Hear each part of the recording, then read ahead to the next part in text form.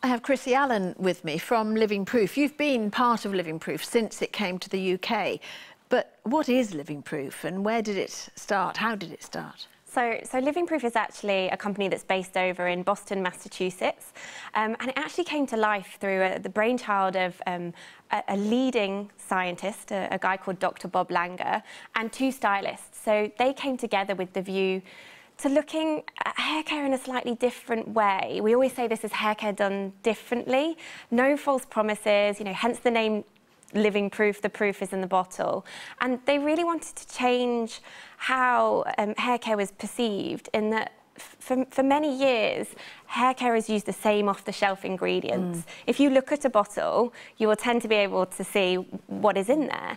Um, and, and they came up with some, some incredible inventions that showed, showed you that you could achieve hair care in a very different way. Well, many awards, many different products and many patents uh, later. Yes. The Living Proof is in the bottle, as you say, and we're delighted that Living Proof is not just in the UK, but here at QVC. So let's take a look what Living Proof has got to offer us.